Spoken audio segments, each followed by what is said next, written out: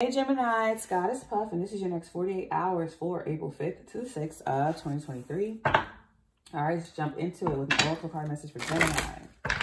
Next 48 hours for Gemini, April 5th to the 6th of 2023 for Gemini. Alrighty, let's see what y'all got going on. I just saw a church. Mm. You could be driving by one or going to church. I don't know why I got it's a Catholic church specifically. I got Christian, but put it put it where it goes for you. Doesn't matter. It's a church. we have Black Hound foreboding. Yeah, I'm seeing it look like this, like an older looking church. Like it's a house or it used to be a house. And I'm seeing a cross on top of it. So I feel like Catholic churches do that. Or you could be watching a movie and see that. We have frog, creativity, mouse advantage, and overall energy of stag premonition. Maybe you had a dream about one. Hmm. Yeah, but with uh, stag premonition, there's like a preconceived, you see something before it happens, pretty much. Yeah, and then Black Hound foreboding. So you're getting multiple warnings about something that's coming towards you. There's going to be some type of creative advantage or creative offer that's coming towards you. Something to do with your hobbies, your inspirations, your artistic nature you're going to get a leg up or there's going to be an offer that allows you to advance into something creative or to use your creativity to advance in the next 48. So let's get into the tarot and see what this is. So this reading is like a heads up or this could just be double confirmation for somebody.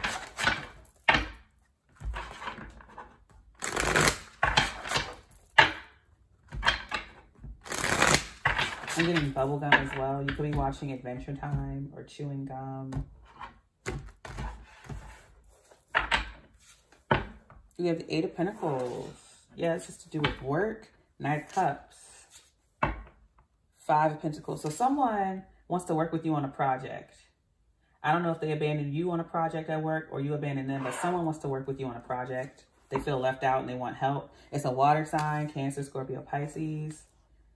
Two of Swords. I feel like this person, uh, they're gonna they're gonna hold you back a little bit. They're not gonna like you know really mess you up because the Two of Swords isn't something like significant. It's like a slight block, a slight road bump. This is like you getting stuck in traffic. It's moving. It's just moving slow. Like this person, I feel like it would be better for you to work alone in the next 48 hours. Let me clarify this though. Let me see. If this person is just gonna, they're a distraction. Sorry to say.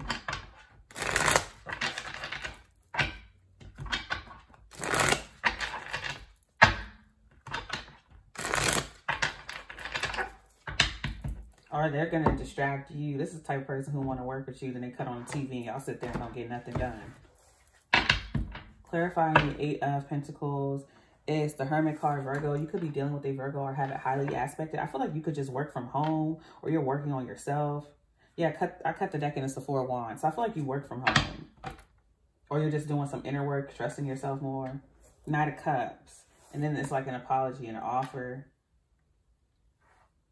Someone, yeah, someone wants to work with you. So I definitely feel like it's a coworker. Or maybe you go to school and this person, I cut the deck and we have Justice, Libra, and the Four of Wands again. Clarifying the Knight of Cups is the Six of Swords, or this person could work from home. And I feel like they could distract you while you're trying to work. But yeah, I feel like you're just letting go of this offer, this apology. You're like, nah, Five of Pentacles. Y'all could do the same thing for work or something. I just feel like this person wants help with their work because they feel left out in the cold. Clarifying the Five of Pentacles is the Chariot, Cancer. You could have physically traveled and this person feels left out. You could be moving to a new office, a new building. It could also be a cancer. I did get the King of Cups, Five of Swords. Yeah.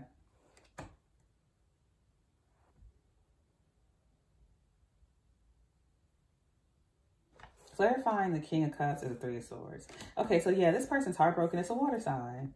Ten of Swords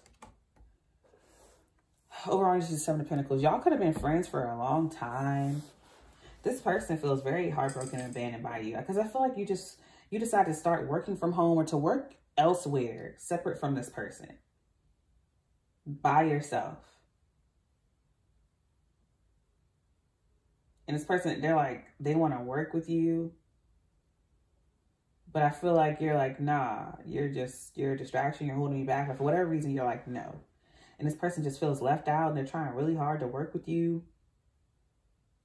This person may say something harsh out of spite too because they're they're hurt. Five of Swords, clarifying the Five of Pentacles, they're hurt by you leaving them. I also feel like another storyline is this person left you. They abandoned you. And now they want to come back and you're saying, no, you've let this go or you've already let this go. I feel like you, you're accepting the apology. I don't see that you're like, you know, being mean or rude about it. You're accepting the apology. But you're like, I'm good you're letting this go. I see you moving on and moving forward drastically or a lot faster without them. Or you you work better alone and this person's heartbroken. Because I feel like you went through a cycle of toxicity with this person or this person. They constantly said negative things or the negative things were constantly being said about you or to you by this water sign of course, it could be any sign for you guys, but I just feel like this person is definitely in some watery energy. And their their emotions are all over the place. Like you're going to see this person go through a, a weird range of emotion in the next 48 hours. Because like you're doing good. You're working by yourself. You're doing just fine. I feel like this person may tell you they've been working on their emotions or their emotional stability, they may call you and this person may even start crying. Because I feel like this person feels really deeply about the situation. Yeah, it's like this person comes to you and apologizes, and you're like, it's fine, I've already let go of the situation. And then they assume that things are just going to go back to normal, to how they were before, like nothing happened. And I feel like this could have happened years ago, or this could happen a while ago, or you just had not talked to this person in a while. And they expect things to just go back to how they were. And it's like you've changed or you've gotten accustomed to working by yourself. You're realizing that it's much better to work by yourself. The moment you let this go, things started to move drastically. Or you moved away or they moved away. And now they've come back and it's like, oh, I, I appreciate it. You know, no hard feelings and then they expect you two to work together and you're like well no i i'm doing this alone i'd rather do this alone or you're like that's just not how this is gonna work yeah i feel like you excel when you work by yourself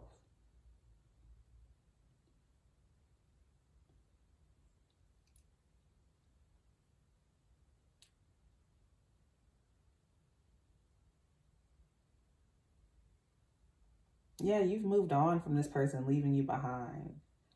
But it's like they, they for some reason they keep holding their cup out. Or maybe if you, it doesn't matter, even if you left them. But I just feel like this person, you were good and this person left you and it's like they just keep trying to apologize. But you've and it's like it's not even like you're not accepting it. You've accepted it. I don't see why they're still they're just so heartbroken. There's a water sign that's just so heartbroken i mean the worst part of the situation is over i feel like they may feel guilty about what they have said to you maybe you might have told this person off but i feel like more so they're trying really hard for you not to leave them. I feel like I just said this for you. I think I said something similar to you in your last uh, Gemini reading. Yeah, this person, they just, in the next 48 hours, you're going to start seeing them break down and start crying. At first, they went from this aggressive banging on your door, and now they're just going to become an emotional mess. They're taking this very hard. And with the Ten of Swords, I feel like all their words are coming back to bite them. I feel like they had some harsh words for you and you may have had some harsh words to say back to them. But now you're over it. I feel like this person going to keep pressing you and you finally let them have it. I feel like your harsh words might even be just, yeah, I'm just, I'm comfortable or more comfortable with doing this by myself. I'm doing way better by myself. And that could just hit this person hard. But I feel like with the Ten of Swords, clarifying the King of Cups, they've done so much and they're heartbroken. I just feel like they just can't accept that they caused this or that you're moving on without them. Yeah, because I feel like this is a long term. This was a long term investment. This person feels like it's all went to waste. I feel like your ships are coming in. You are investing in something very stable, especially when it comes to career, or if you have a new relationship with a Virgo. I feel like there's a Cancer here who's hurt and upset by this, but you're dealing with a Virgo who's way more stable, and your ships are coming in while dealing with this person. You're getting much more like expansion and offers and this person is unstable anyway. This other person with the Two of Swords, because this person, this pile is the blockage here. Two of Swords, Knight of Wands. Then you're getting Justice, Four of Wands, like King of Wands. Yeah. So just keep moving forward. Ignore this person's meltdown in the next 48 hours. For Gemini. I don't mess up for Gemini.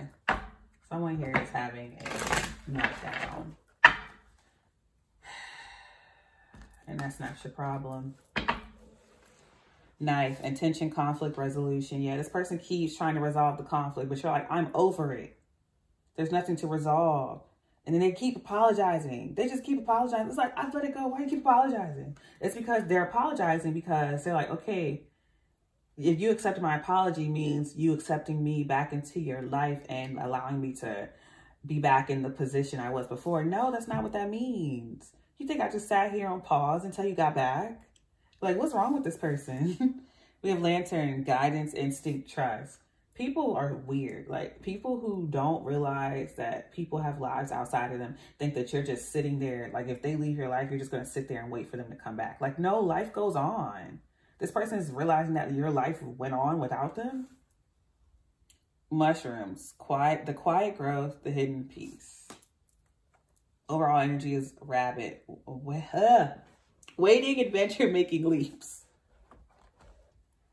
All right, I'm going to leave it there. I send you peace, blessings, and love. Namaste.